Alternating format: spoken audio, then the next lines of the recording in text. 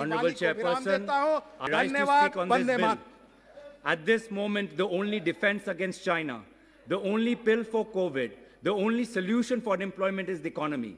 Unfortunately, Prime Minister Modi has ignored this advice. This is precisely the reason why India has seen the deepest reduction in GDP, minus 23.4%. It is the only country in the world where the COVID-19 infection curve has not flattened. And the reason why Prime Minister's statement on Indo-China border is similar to the position of the Chinese government.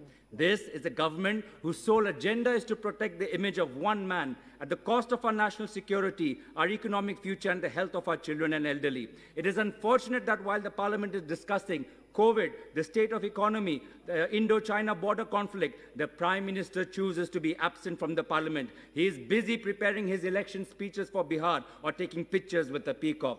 Whenever Rahul Gandhi ji has advised the BJP government, he was found to be true. On, on 12 Feb, he spoke of COVID, he was right. On March, he spoke of economic tsunami, he was right. He pointed to the presence of the Chinese in the Galwan Valley, he was right. History will remember Prime Minister Modi having wasted his mandate while Congress and Rahul Gandhiji continue to raise issues of national importance. In India right now, we've had the strictest lockdown, the smallest fiscal stimulus, the greatest GDP crash, the highest inflation rate. The last 11 days have seen a rise of 13 lakh cases in COVID. India has the most COVID deaths in the world between September 1 to 15 at 16,307. The 20 lakh crore stimulus package announced by the BJP government is only a diversion to manage the news headlines. The Pradhan Mantri Garib Kalyan Yojana is rupees 1000 per person. The Jan Dhan Yojana is rupees 500 per month. The migrant labor grain package is 5 kg of grains per month. Rupees 500 per month, rupees 1000 per month, 5 kg of grain per month does not even qualify as basic humanitarian relief to a nation that is struggling, let alone it being described as a stimulus package. The burden on the poor has only increased with the rise in petrol and diesel prices having crossed rupees 75. Migrant laborers were unable to pay rent and still find themselves jobless. Therefore, the BJP government should follow the advice of the Congress party and Rahul Gandhi ji and give rupees 7,500 to the poorest of the poor families. I'm afraid that today also the finance minister will only shift accountability to God, global markets, and governments of the past. Honorable Finance Minister, it is not God who is to blame, but your government's focus on following Godse.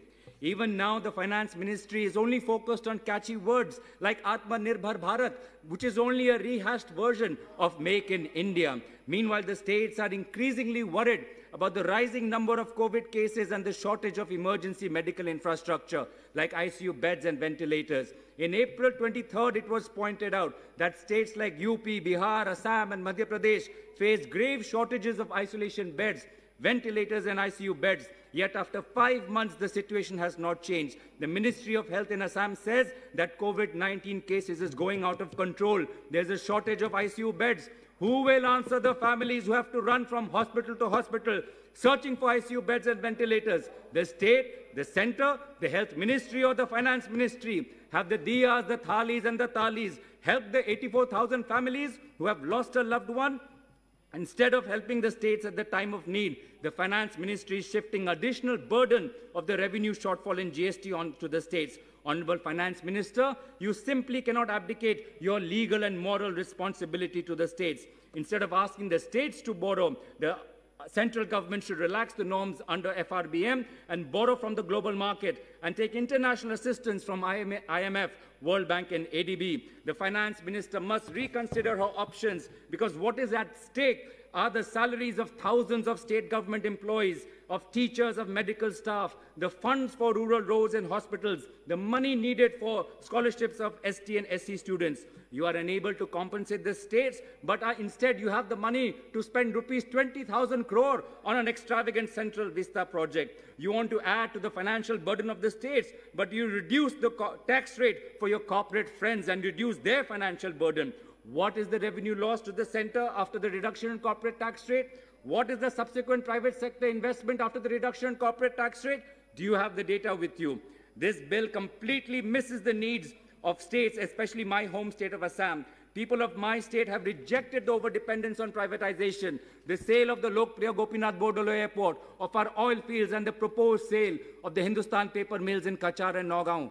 Students want a research fund in universities. Students want a second Sainik school in Golaghat. Our state wants union ministers who give attention to our problems. The Jal Shakti minister did not even visit the state during floods. He was busy trying to pull down the government in Rajasthan. The road transport minister Nitin Gadkari inaugurated two bridges over Brahmaputra for which the DPR have not been prepared. The oil fields in Baghjan are still on fire. I'm concluding, Honorable Chairperson. For all the reasons I've cited in my speech, I regret to reach my conclusion, Honorable Finance Minister. While I hold you in high personal esteem, I submit my demand to the chair of the Union Finance Minister of India. I request you to step aside for the sake of unemployed youth, for the sake of starving laborers, for the sake of distressed farmers. Please step aside.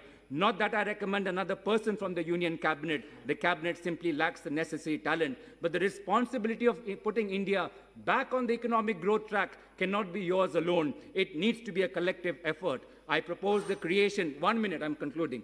I propose the creation of an emergency economic and finance recovery council, similar to the GST council, a council of state finance ministers with past union finance ministers as members, ministers such as Yashwant Sinha and P. Chidambaram, to be steered by the person who led India out of the 2008-2009 global financial crisis, the former Prime Minister. One, two sentences. The former Prime Minister Dr. Manmohan Singh. I appeal to Prime Minister Modi. The gospel of one man, one savior has completely failed. Time has come to rise above the image and think about the nation. We need a bold effort through collective effort, through consensus and dialogue. That is the Indian way. That is, last sentence. That is how we protect our youth from frustration.